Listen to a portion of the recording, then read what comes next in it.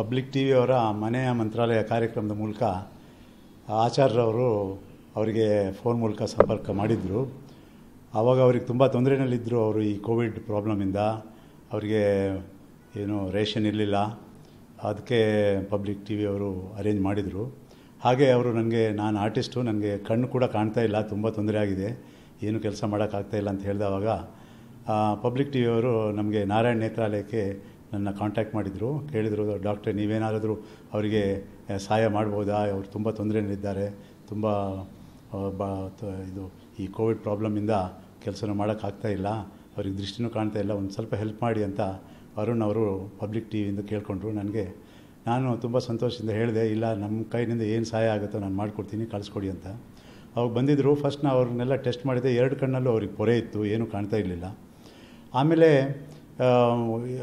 ಪೊರೆ ಆಪ್ರೇಷನ್ಗೆಲ್ಲ ಟೆಸ್ಟ್ ಮಾಡುವಾಗ ಅವ್ರದ್ದು ಶುಗರ್ ತುಂಬ ಹೈನೇ ಇತ್ತು.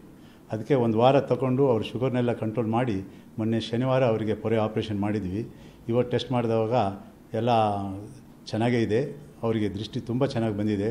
ಅವರು ತುಂಬ ಆಚಾರರು ತುಂಬಾ ಸಂತೋಷದಲ್ಲಿದ್ದಾರೆ. ಅದಕ್ಕೆ ಈ ನಾನು ಹೇಳೋದೇನೆಂದರೆ ಈ ಒಂದು ಕಾರ್ಯಕ್ರಮ ಪಬ್ಲಿಕ್ ಟಿ ವಿಯವ್ರದ್ದು ಮನೆ ಮಂತ್ರಾಲಯ ಕಾರ್ಯಕ್ರಮ ತುಂಬ ಒಳ್ಳೆಯ ಕಾರ್ಯಕ್ರಮ. ನೂರಾರು ಜನರಿಗೆ ನಾನಾ ಥರದ ಒಂದು ಸಹಾಯ ಆಗಿದೆ ಇದ್ರ ಮೂಲಕ.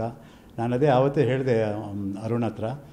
ಈ ಕಣ್ಣದೇನೇ ಸಮಸ್ಯೆ ಇರಲಿ ನಾರಾಯಣ ನೇತ್ರಾಲಯ ಯಾವಾಗಲೂ ನಿಮ್ಮ ಜೊತೆಗೆ ಕೈ ಜೋಡಿಸ್ತದೆ. ಏನು ಸಹಾಯ ಬೇಕಾದರೂ ನಾವು ಖಂಡಿತ ಮಾಡ್ತೀವಿ. ಇಂಥ ಕಾರ್ಯಕ್ರಮ ತುಂಬ ಒಳ್ಳೆಯದು ಜನರಿಗೆ.